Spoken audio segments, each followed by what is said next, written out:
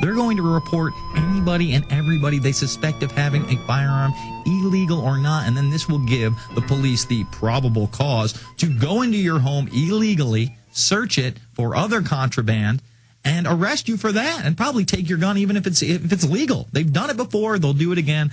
Larry Pratt, what's your take?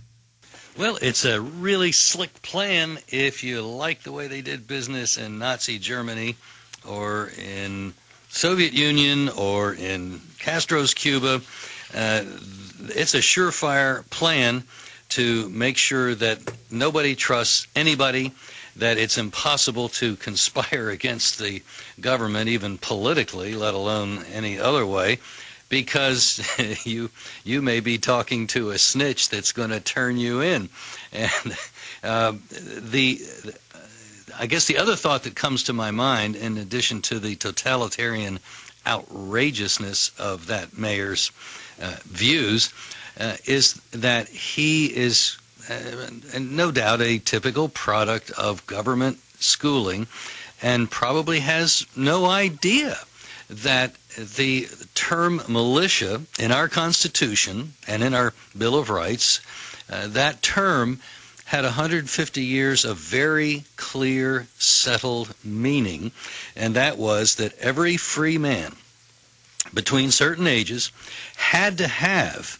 a military toward the end in the er, beginning of the early republican period uh, have a military rifle and not to have one under colonial law would get you a fine so Here he wants to pay the opposite. He wants to pay a bounty for snitching out when somebody uh, has a gun, which under the Constitution he's supposed to have, especially if it's today's battle rifle. There's no question that that's what every male free male in this country should have uh, in his possession. And here you've got this nut that assumes that somehow the criminals are going to be flummoxed by a plan which, as you point out, uh, the ones that will really game this plan are the criminals. and in my playbook tonight, as if healthcare reform doesn't have enough problems.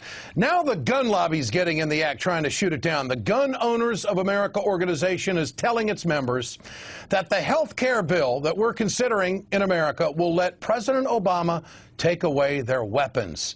Let me bring in the executive director of that group, Larry Pratt. Mr. Pratt, explain your position on this. Do you really believe that if we pass health care reform in this country, that it's going to restrict gun ownership? I need an explanation on this one. Good to well, have you with us. Good evening, and thank you for uh, having me on.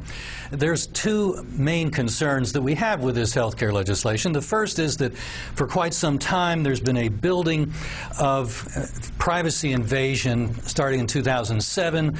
Medical records were uh, had to be computerized and sent to the FBI if they had anything to do with uh, you might be a danger to self or others. No trial, no conviction, no due process. Just send the names over and away goes the so right to keep So you think the database, arms. you think the database and, and, and all the information gathering would help law enforcement deny and laws help deny people getting guns? Uh, denying is not the problem. It's doing it without due process, without a trial, without any of those sorts of protections that uh, uh, a real criminal would have. And so we're treating people as if they were criminals. Well, what if somebody's got a mental condition? I mean, would you want Mr. Hassan, after all he wrote, would you, you think it's okay for him to go in and buy a gun because he ended up shooting and killing a bunch of people and wounding another 40? I, I mean... Well, I think instead of ignoring his jihadi tendencies, as the review board did and said, well, we don't have enough Muslims in the military, so we got to let him go through, I think the thing to do would have been, at a minimum, kick him out of the military and, and uh, maybe go from there. With what I think about Americans who think they need guns to protect themselves from their own government. We start with today's pro-gun rallies in Washington and Virginia. Larry Pratt is Executive Director of Gun Owners of America, and Skip Coryell is the founder of the Second Amendment March. Gentlemen, thank you for joining us. Larry, what do you make of the U.S. government? Is it bad?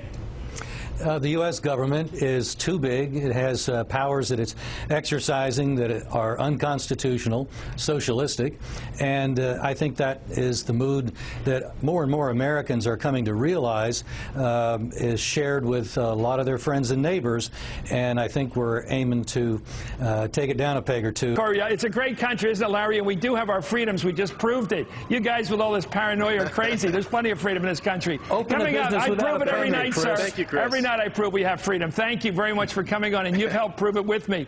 President Obama's coming to New York. To Larry Pratt, Executive Director of Gun Owners of America. Larry, are you a married man? I am indeed very happily for several decades. Did you get a Did you get a uh, Valentine's Day card from your wife? I did not, but you know, it's only fair, Glenn, because I didn't send one either.